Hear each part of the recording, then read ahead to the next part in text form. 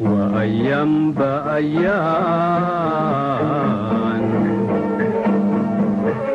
في آخر ثبات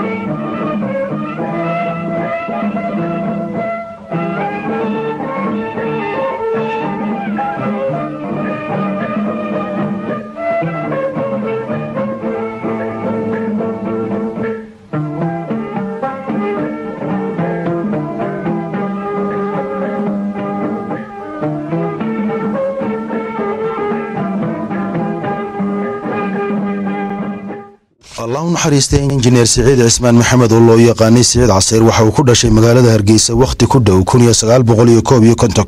waxbarashadiisii hoose dhexe ilaa sare waxa uu ku qaatay magaalada hargeysa. Waxbarashada kadib kii ayaa la sheegay inuu bilaabay shaqadii qaranka. Wixii ka dambeeyeyna waxa uu waxbarasho ka helay dowladda jarmalka oo ku soo bartay cilmiga transmitarka iyo warlalisku sida uu shaqeeyo. Injineer siciid cismaan maxamed waxa uu ka mid ahaa halbowlayaashii wasaaradda warfaafinta gaar ahaana idaacadda rediyo hargeysa waxaana door muhiima uu ka soo qaatay taabagelintii mawjadihii kala duwanaa iyo warlalayaashii soo maray wasaaradda warfaafinta gaar ahaana laga soo bilaabo ilaa halgankii ilaa intii ka horreysay. Allahu naxariistay siciid cismaan maxamed waxa uu cilmiga transmitarada iyo warlaliska ku soo bartay dalka jarmalka oo afar sano uu ku qaadanayey kii markii uu ka soo laabtayna waxa uu dadaalaya aqoon geliyey wasaaraddii warfaafinta ee wakhtigaasi gaar ahaana rediyo hargeysa. Burburkii dagaalada kadib waxaa injineer siciid cismaan maxamed uu wakhti badan geliyay halgankii xoreyntii wadanka isagoo aqoontiisii dib ugula noqday. Dib u habeynta warlayaashii wakhtigaasi halganka lagaga qayb qaadanayey markii wadanka lagu soo laabtayna waxa uu qeyb muhiima ka ah dadkii buddigay in la helo idaacada dalkao dhan wada gaadha taasoo wadanka laga isticmaalayay mawjad gaaban iyo mawjad dhexe. Waxaana aqoontii uu soo bartay allahu naxariistay siciid cismaan maxamed uu ku dabaqay wakhtigaasoo wadanka uu yabyab ahaa transmitaradii wakhtigaasi wadanka yaalay. Cilmiga iyo aqoonta wadankiisa uu horaya allahu naxariistee injineer siciid cismaan maxamed kuma koobnayn qura dhinaca idaacadaha balse waxa uu waxbarashada fisigiska u gudbayay dhallinyarada reer somalilan ee dugsiyada sare. Isagoo jiilalka duwan aqoontiisa ku soo saaray dugsiyada sare dalka. Wakhtiyada kadib wixii ka dambeeyey labadii kun ayaa injineer siciid cismaan maxamed waxaa haleelay. Cudurka loo yaqaano faaliga oo muddo uu jiifay balse isagoo bukaan socda ayaa haddana aqoontiisa uu ku dabaqayey sidii qarankiisa ugu adeegi lahaa isagoo qayb muhiima ka qaatay idaacado kala dambeeyo. Qaranka loo soo iibiyo ay ugu dambeysay idaacaddii laga keenay wadanka china oo cilado badan oo ku yimid aqoontiisa la kaashaday. Waxaa door muhiima uu ku lahaa dayactirka idaacado f m a isagoo talooyin muhiimana ka geysan jiray warbaahinta iyo warlalaska telefishin qaranka. Allahu naxariista siciid cismaan maxamed oo rukundhexaad u ahaa wasaaradda warfaafinta ayaa maanta si ballaadhan loogu aasay magaalada hargeysa. Munaasabada aaska waxaa ka soo qayb galay agaasimaha idaacadda xasan maxamed yuusuf agaasimaha telefishinka muuse faarax jaambiir mas'uuliyiinta waaxyaha kala duwan ee wasaaradda warfaafinta aqoon-yahan ehelkii asxaabtii saxafiyiin mas'uuliyiinta ururka soolja iyo dadweyne aad u tiro badan. Waxaana marxuumka halkaasi looga duceeyey in ilaahay naxariistii jannaha ka waraabiyo iyadoo xubnaha madashan ka soo qayb galeen ay soo bandhigeen taariikhdiisii. Bismillaahi raxmaan raxiim waxaynu taaganay xabaalo baqiye oo xabaalo taariikhiya xabaalo ku yaalla magaalada hargeysa. Waxaan leenahay inta ku aasanay hortaan dhimatay antum saabiquun wa naxnu laaxiquun.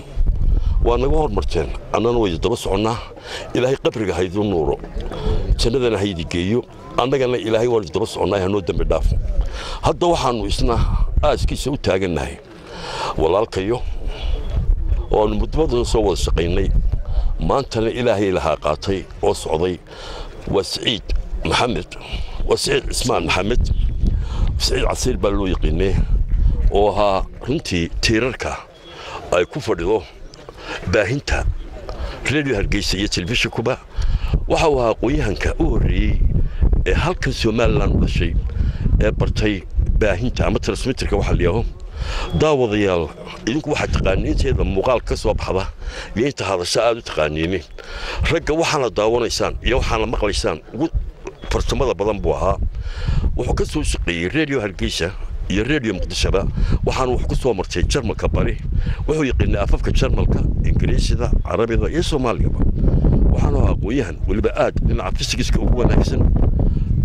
Marka loo baahdo maalinta ay ciladi timaado isaga oo hadda xanuunsanayo naafoonka ay karayn ayaa loo yeedhi jiro tilmaantiisa wax ku hagaajin jiray.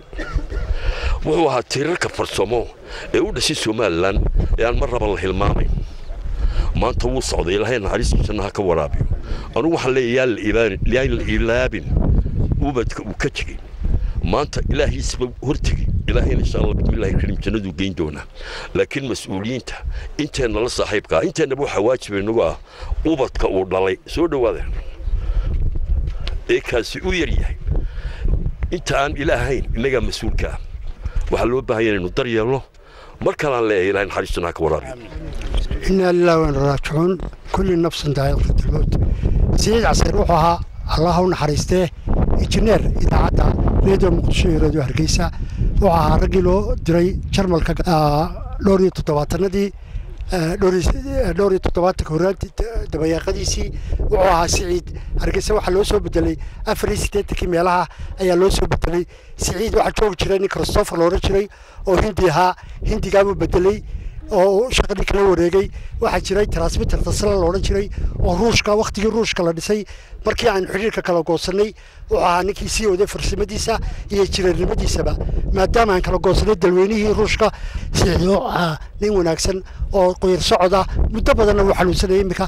Saddex iyo tobankii sanadooda u dambeeyey nin iska ahaa xanuunsanayey ilaahay jannadii firdowsa ugu deeqo ubadkii iyo carruurtii iyo ehelkii u ka tagina samira imaan nin walba uu dhimanayaa maalin. Waxa weeye inaannu isu naxariisanno oo kala dambayno oo ka jilicsan gacan siino oo ka xanuunsanayana aynu gacan qabanno iyo arrin aynu dadka ubadkaa uu ka tegey siciid aan gacan ku qabanno berritaannakuna saasi leeg aan uga tegin adduunkan. Waxaan leeyahay siciid ilaahay jannadii firdowsa ha ka waraabiyo. Dhammaan ehelkiisa qaraabadiisa asxaabtiisii samiriya imaan ilaahay naga siiyo dhammaanteen intaan ka soo qaybgashana samiriya imaan bismillaah ilaahay waxaynu uga baryaynaa naxariis baynu uga baryaynaa iyo inuu janno geeyo firdowsa waxaan mahad u celinayaa bahda maxaanku oo wasaaradda warfaafinta oo si wacan runtii uga qayb qaadatay aaskiisa. Aad baanu idinkana maaragtay ilaahay jasaayigiisa haydin siiyo. Dadka kale ee maaragtay ehelkaa yimina ilaahay samir imaan ha ka siiyo carruurtiisa ugu horrayso innaguna waa dhimanina ilaahay haynooga daba naxariisto.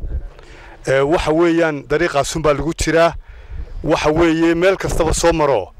Waxaad helaysaa naftaa ilaahay siduu kuu geliyeyna. Maad ogeyn kaalamau tashan. Markuu kaa qaadayana kaala tashan maayo iyo meeshay ku dhimanayso. Miyay labadaa midna ogtihin waqti siduu idin geliyeyna maogi siduu idinka saarayana ma ogidin. Marka waxaan leenahay ha loo diyaar garoobo ina aad dhimanaysaan oo ha la shaqaysto. Ajarkii aad ku aad aad aad ilaahay ilaahay la hortegi lahayd dhammaanna ilaahay ha wada naxariisto. Xabaalaha inaga horreeyey aynu dul taaganna ilaahay ha naxariisto. Dhammaantood ilaahay inagana ha inooga daba naxariisto. Wasalaamu calaykum waraxmatullah bismi illaahi raxmaani raxiim inaa lilaahi wa innaa ilaahi raajicuun. Qof walba oo dhimanaya kulli geeridu waynu wada ognahay. Siciid casayr ilaahay ha naxariistay. Maanta ayay wakhtigiisii noqotay oo ilaahay ka qaaday ammaanadii. Waxa keliya inooga baahan yahayna waa inaynu u ducayno uun oo ilaahay uga barina inuu naxariis ku siiyo qabriga oo u waasiciyo innagana hadda waxay inoo tahay tusaale iyo cashar bay inoo tahay. Ilaahay bahda wasaaradda warfaafinta iyo qoyskiisiiba samiriya ka siiyo. Isagana godka ha u nuuro qabriga ha u waasiciyo. Naxariis baynu eebba uga baryayn haddii ilahay idhahda maanta wuu hoyday. Waxaa keliya kolley wasaaradda iyo xukuumadda malaa uga baahan wax loo qabto waxa weeye waa qoyskiisii iyo carruurtii uu ka tegay. Inaa lilaahi wa ilaahi raajicuun bismi illaahi raxmaan raxiim ilaahay waxaan uga baryayaa marxuum siciid casayr inuu naxariis janno ka waraabiyo. Muddo aad u fara badan baanu kulley aniga wada joognay inkastoo rashiid iyo raggii iga horreeyey ay muddo intaa ka badan si wada joogeen haddana kolley. Intaanu maxaan ku dhahdaa wada taagnaan wada shaqaynaya ilaa muddo saddex iyo soddon sannadood ah way noqonaysaa. Shakhsi wanaagsan buu ahaa runtii oo halgamo dalka xuquuq fara badan ku leh. Asalaamu calaykum waraxmatullah bismillahi raxmaan raxiim waa afar iyo tobanka bishii sideedaad labada kun iyo sideed iyo toban waxaynu joognaa aaskii injineer siciid casayr. Oan maanta ku aasayno xabaalaha qabiic ee magaalada hargeysa. Injineerku in badan buu ka soo shaqeeyey wasaaradda warfaafinta. Tacab badan ayaanu soo geliyey wasaaradda warfaafinta. Maanta waxaa ka raacaya waxaynu leeyahay inu naxariisto daawadayaasha iyo dadkii inta xabaasha joogtana maanta u ducayso faatixada u marto in ilaahay u naxariisto. Ubadkiisuna ilaahay horta samiriyeyman ha ka siiyo. Bismi raxmaan raxiim innaa lilaahi wa innaa ilayhi raajicuun. Kulli nafsun daa'iqatu lmowt naf kastaba waa hubaal inay mowdka dhadhaminayso intii horena aadaha u naxariisto ee qabriga hore u gashay inta ka dambaysana ilaahay hauga daba naxariisto maanta waxaynu aaskiisii joognaa eebbe naxariista jannaha ka waraabiye siciid casayr sheed ismaan maxamed siciid casayr oo ahaa jineerka keliya ee wasaaradda warfaafinta dhaqanka iyo wacyigelintu ay lahaan jirtay ama ay lahayd. Rag fara badan oo injineer waxaa laga yaabaa inay aqoonta injineernimada siyaabo badan ama meelo kale oon idaacad ahayn ay kaga soo shaqeeyeen laakiin siciid caseyr waxaan qabaa inuu ahaa injineerka keliya ee aqoon transmitter idaacadeed. Hadday baractical tahay iyo hadday tiyeri tahayba aqoon idaacadeed lahaa. Waraysigii ugu dambeeyey oon insha allah rajaynayo in barnaamijkiisa imaka geeridiisa lagaga hadlayo lagu soo qaadan dayna ku waraystay dhowr iyo toddobaatanadii buu shaqada bilaabay wuxuu ka bilaabay xamar buu ka bilaabay transmitterada idaacadduu ka bilaabay. Sayid caseer waxau ahaa nin very intelligence ah. Ay kuyuugiisuu sarreeyo maskaxdiisuna ay aad u sarraysay ilaahay naxariista jannaha ka waraabiye. Maanta isagoo dhintay baynu ka hadlanaa laakiin aqoontiisa dadkuna way yaqaaneen inta siciid casayr ama reediyo hargeysa taqaanay aad bay u taqaanay. Hadday tahay wakhtigii hore si aad barray waddanka haystay iyo hadday tahay wakhtigan imaka siciid jannaha ka waraabiye siddeetamaadkii ayaa laga soo wareejiyey horta waxa uu qabtay tababaro badan buu qaatay deetana waxa uu aqoon rasmiga ku soo qaatay dalka jermani ama dalka jarmarka muddo dhowr sannadooda ayaana aqoonta transmitterada uu ku soo qaatay ilaahay naxariista jannaha ka waraabay siciid casayr ee dhowr iyo siddeetankii buu idaacadda hargeysa oo dhowr transmitterada soo wareegay siciid casayr waxau ahaa injineerka keliya haddii aad transmitter wax noqdo hagaajin jiray. Siciid casayr ilaahay naxariistii jannaha ka waraabiye aqoontiisa wax fara waxaa ka warrami doonaa waraysiga aan ka qaadnay haddii ilaahay idhaahdo. Waxa uu ka tegey koob iyo toban carruura laba carruurahoo carruurtaa ka midoo inamada waaweyna laba inanoo waxay ahaayeen gabadh edit broya la odhan jiray ay dhashay. Oo maanta jermani ku nool oo waxa weeyaan gabadhu jarmal bay ahayd labadaa carruura laba inan bay iyagu ahaayeen way la soo xidhiiri jireen dad waaweyn maanta. Ilaahay ubadka u daayo. Oo reerkana ha u daaye. Siddeed carruurana halkan ayay u joogaan maanta. Oon filayo hablaha inanta ugu weynaa in ceergaabo ay faamili ku tahay gabadhna waxaan filayaa in ay dhinaca soomaaliya ay iyaduna ku nooshahay oo iyaduna hooyo kale ay u dhashay. Laakiin ko iyo tobanka carruura sidaasaan markaa waxa weeyaan waa labada inan iyo laba inan oo kale inta kalena waa hablo. Faamiliga halkan joogaa maanta waxtar badan bay u baahan yihiin. Waxtar fara badan. Insha allah bismillaahi kariim caawaja xaga qabana wuu ugu bedeli doonaa aynu ubadkaana inuu ilaahay barbar qabta aynuu ducayno. Isna inuu qabriga u nuuro aynu ugu ducayno oo naxariistii janno uu ka waraabiyo. Caruurtaana ciddii wax u qaban kartaa ha qabto. Bismi raxmaan raxiim inaa lilaahi wa innaa raajicuun. Innaa lilaahi wa innaa raajicuun. Anigu waxaan aad iyo aad ugu mahadnaqayaa. Siciid casayr ilaahay naxariis jannaha ka waraabiyo. Waxaan si gaara ugu mahadnaqayaa. Weliba faamiligii siciid ka soo jeeda anigoo ku hadlaya. Inta goor ee isagoo xanuunsanaya aanuu imi kadibna aan wasaaradda tegey wasaaradda hadday agaasimo tahay hadday mid wasiir tahay hadday mid hoose tahay waliba raggaan ka xasuusnahay ay qaarkood ag taagan yihiin. Loo sara kacay wax badanna loo qabtay. Wasaaradda aad baan ugu mahadnaqayaa aad baan ugu mahadnaqayaa siciidna ilaahay naxariis jannaha ka waraabiyo. Markii horena weydinkaa siciid dee xanuunkiisii wasaarad ahaan aad iyo aad baa ugu dadaasheen iminkana dee carruurta waa u dadaali doontaan insha allahu. Ciidanka ilaahay isagana ilaahay naxariis ka waraabiyo